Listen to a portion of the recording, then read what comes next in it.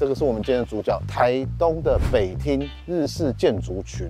这边一共占地是多少？大概两公顷，包含还没有修复的部分，换算差不多六千平哦。像我们现在看到这一栋，就是台东女中的校长宿舍。八十年前豪宅，一九四零年代以前就是用块木建筑出来的，而且最近这几个月的大地震，他们完全屹立不摇，连裂缝都没有。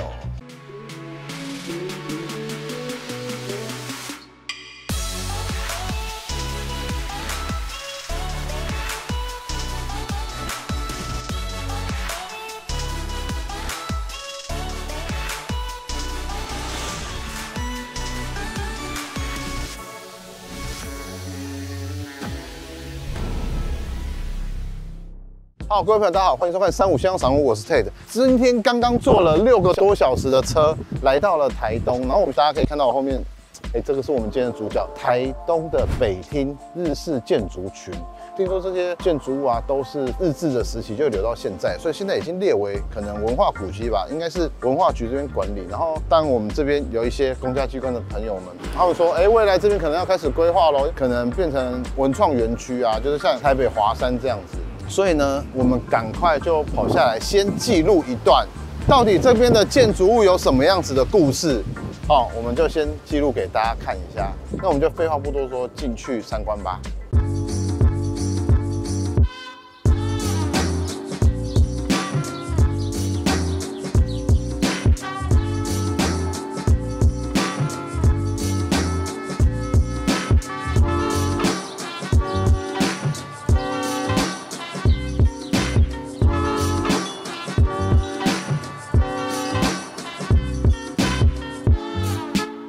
们现在已经进来现场了，然后这位旁边是文县政府文化处，好，哎，文化处的代表。雅文，雅文好，那今天就是由他要带我们来参观北厅的建筑宿舍区，哦，宿舍这边叫宿舍，对对，它是校长宿舍，它是原宿舍，哦，这边是学校的，我们像我们现在看到这一栋就是台东女中的校长宿舍。这边是平常没有开放参观，呃，室内的部分是没有对外开放，可是如果说你做申请的话，是可以开放。以往都是在做什么样子的活动？像我们每年都会有古迹日，古迹日都会在我们这一块民权里做活动，像老歌演唱啊，也是都有。哎，对，这边一共占地是多少？大概两公顷，包含还没有修复的部分，换算差不多六千平哦。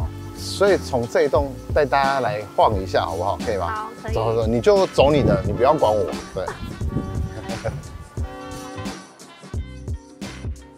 好，各位朋友，因为这边的细节真的很多，刚刚其实我也问了很多，但我们现在精简，我用我自己的话还来跟各位介绍好了。首先呢，第一个拖鞋的地方，好，这是我刚刚拖鞋的地方。现在的我的这个区块啊，有点像是客厅呐，因为它这边算是长官的家。八十年前好在一九四零年代，我一步一步带大家走好了，因为我自己看完以后，我觉得这边可能大家一开始看的时候会有点混乱，但是我觉得。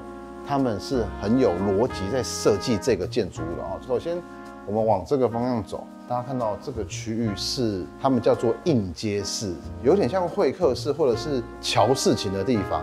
大家可以看到这边整个面向哦，他们是坐满了窗户。为什么坐满窗户嘞？因为以前的人没有冷气，坐满窗户才可以让风是很通风的。它在这个底下这边打开来也是可以通风的。所以他们以前的日式建筑啊，在做通风这件事情啊，是非常讲究的。那当然，这个灯已经是现代灯。然后他们说这边以前就是用块木建筑出来的，而且最近这几个月的大地震，他们完全屹立不摇，而且连裂缝都没有。当然有问一下在地会做木材的朋友，他们说这个是因为它木头是比较有弹性、有韧性的。当然，这现在这边有经过整修了。他们这个整修就是尽量跟古迹一样的方式。嗯，好，反正就是接待区。然后再来，我们走过来的这个空间呢，这边是一个洗脸盆，是马桶的位置。可是呢，这边是没有 shower 的地方，因为日本人他们就是会把洗澡的地方跟上厕所的地方是完全分开。应接室走出来，这边有一个窗户，有没有？这这个窗户呢？它其实是是可以，诶诶诶，但但是这个我不我不敢开，这是可以打开的啦。他们刚刚有打开给我看过，然后上上面也都是做木雕。这个位置其实是主卧房，那这个主卧房是说，哎，它这边还可以转过来，好，坐在这个位置，坐在这个位置，这边还可以办公。办公的时候，这个窗户还可以打开。大家可以看到，目前我现在在的这个位置，门很矮以外，但是上面是很高的。这边其实全部下面跟上面都是有轨道的，那他们现在是整修完以后开放给活动使用，所以他们把门片全部拆掉，然后他们打开来就是可以做一个很类似客厅的使用，但是呢，关起来的时候就可以各自成为各自的卧室。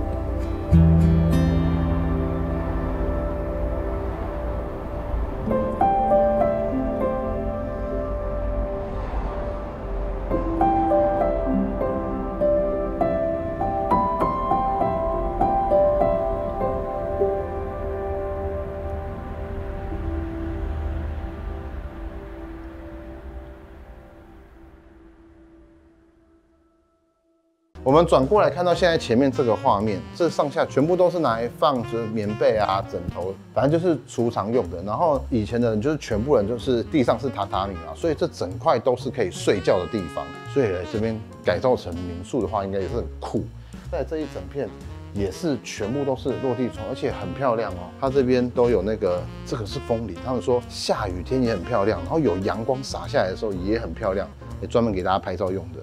好，走过来嘞，这边这个空间呢是小孩房，然后小孩房这边也是非常大面的窗户哦，一样都是为了通风。所有的这种日式建筑，其实我们现在踩的地板，他们底下是用大颗的石头垫在底下，把这边架高的，所以在很多这些下面地方才有办法开动，让风从下面也灌了进来。接下来各位走过来看到。在我的左手边这个画面，这个边就是会放澡盆的，会放浴缸的。日本人非常喜欢泡澡，可是这边已经修改过了啦，但是管线都有留好，有冷热水，所以这边是有点像可以泡汤的地方。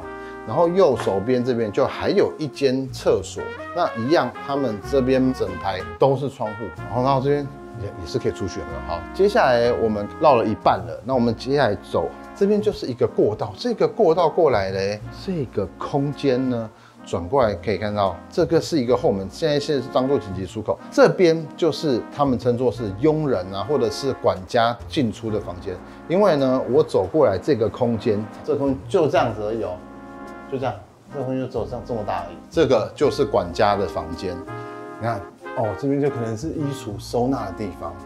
那接下来走过来这个地方是整栋房子唯一不是木做的地方，它是砖造，因为这边是他们的炉灶。现在大家可能会忘记我在哪个地方，我现在回到客厅的地方。刚刚我说这边是餐厅，对不对？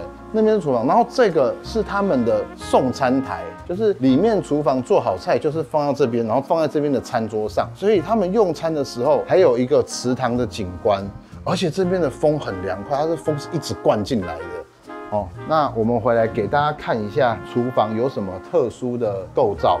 这边应该是炉灶嘛，但是这边也是改过的。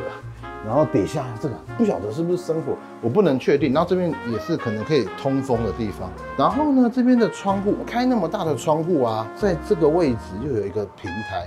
那他说这个平台呢，是如果买菜买很多，就从外面直接送到厨房，就不用说走前门或走后门了，反正大家就可以看完了，这样就是走一圈了，有没有？这个就是八十年前日式建筑的豪宅，其实它还有很多的细节，那我们在影片里面是做的比较精简嘛，那包含它每一个空间上面呢，几乎都坐满了窗户，当所有的推拉门都打开的时候啊。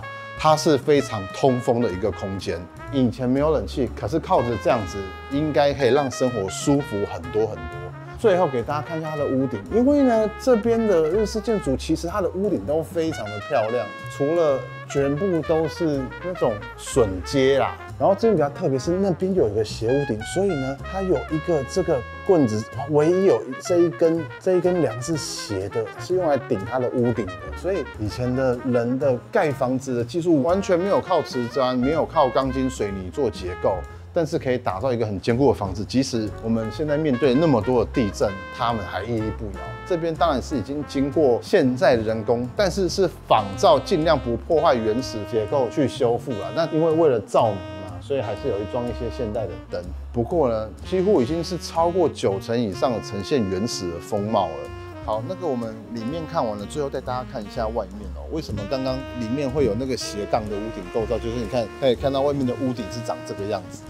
然后再来就是，你看上面屋顶的排水，它是接这个水管下来，然后它外面这一圈就是以前那个排水的啦。大家可以看到，它这边下面有很多这个窗户，这个窗户就是用来进风的啦。给大家看一下，它的周遭都有，这边就是刚刚讲的应接式。